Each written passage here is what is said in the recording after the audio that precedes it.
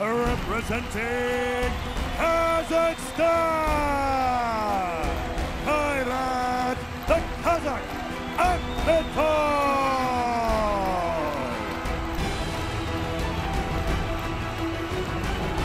Akhmetov, such a powerful individual. One of the greatest Greco-Roman wrestlers of the world. Kairat Akhmetov is gunning for another crack of gold. Akhmetov tried to catch it. Drags him to the canvas, looks to take the back. And kick over the top, Wasich.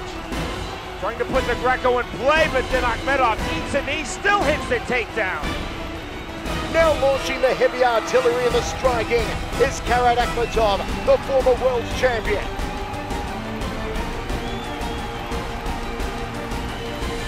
Lays in the left hand.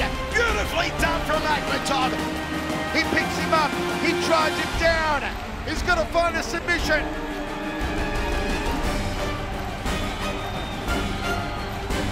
Another takedown from Akhmetov. He's done everything right. He did nothing wrong.